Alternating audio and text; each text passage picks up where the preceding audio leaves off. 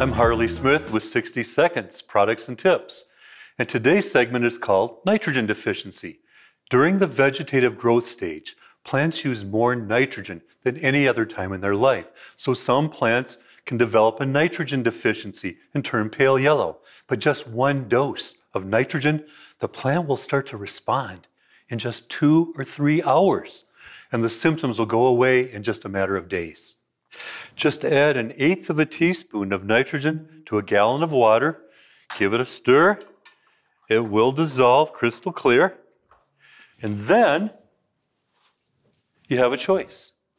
You can either add the solution directly to the root zone or add a little yucca and use the nitrogen as a foliar spray. That's all the time we have for today. I'm Harley Smith, and thanks for the minute.